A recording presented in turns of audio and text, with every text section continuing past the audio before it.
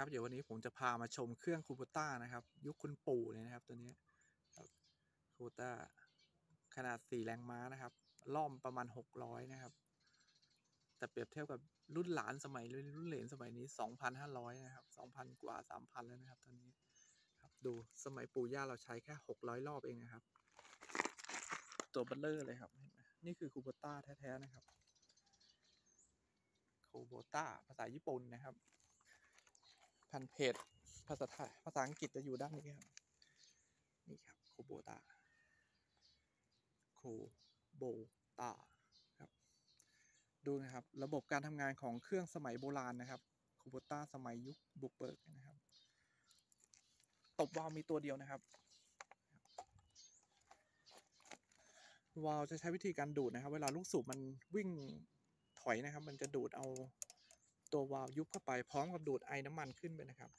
เครื่องตัวนี้สมัยโบราณจริงๆใช้น้ำมันก๊าดเดินเครื่องนะครับ แต่ตอนสตาร์ทเนี่ยต้องใช้เบนซินนะครับนี่คือถ้วยเบนซินนะครับนี่เบนซินอยู่นี่นะครับ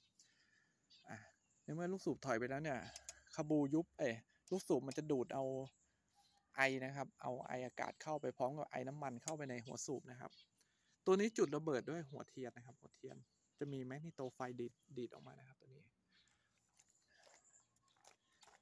ไฟเนี่ยมันก็คล้ายๆ กับไฟมอไซค์นะครับตัวนี้ครับไฟแรงมากนะครับ เคยโดนดูดนี่คือแบบชาครึ่งแถบเลยนะครับ โดนจังๆหมันกินได้เลยนะครับตัวนี้นี่คือชุดคาบูนะครับ ตัวนี้เป็นเข็มปรับน้ำมันนะครับ ปรับแรงปรับค่อยปรับเดินมากเดินน้อยครับ ตัวนี้จะเป็นเครื่องที่ยังไม่มีระบบหล่อลื่นนะครับ ยังไม่มีน้ำมันก้นอ่างนะครับ เพียวๆเลย ใช้น้ำมัน หยดจากหลอดแก้วเห็นไหมครับ อันนี้คือหลอดแก้วมัน เราเติมน้ำมันเครื่องใส่หลอดแก้วตรงนี้ก็จะมีหลอดหนึ่งนะครับ ตรงนี้ก็หลอดหนึ่ง ตัวนี้จะหยดเลี้ยงชาร์ปเข้าเหวียงนะครับ ส่วนตัวนู้นจะหยดเลี้ยงลูกสูบนี่ครับ การทำงานของข้างในก็มีอยู่แค่นี้เอง มีลูกสูบ มีสลัก มีก้านอยู่เท่านี้เอง มีเฟืองอยู่สามตัวนะครับ เฟืองตัวแรกคือหม้อไฟนะครับ ขับแมกนีโต เฟืองสองคือเฟืองข้อนะครับ เฟืองที่สามคือเฟืองเราลิ้นครับตัวล่าง เรื่อง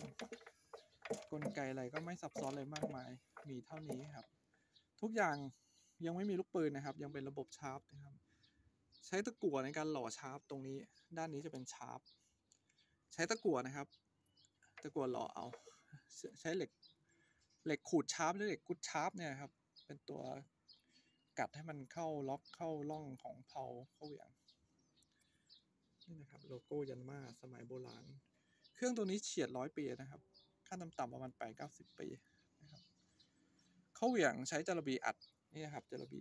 ยังไม่มีน้ำมันเครื่องนะครับ ใช้จาระบีอัดเอาครับน้ำมันเครื่องจะใช้หยดแค่ลูกสูบกับชาร์ปนะครับ ไม่มีอะไรมีเท่านี้ อันนี้คือล้อ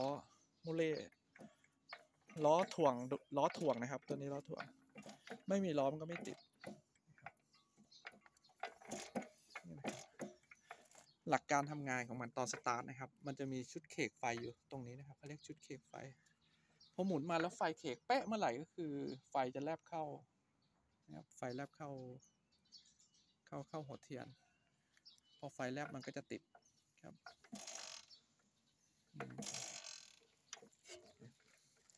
มีเท่านี้เองหลักการทำงานมัน เดี๋ยว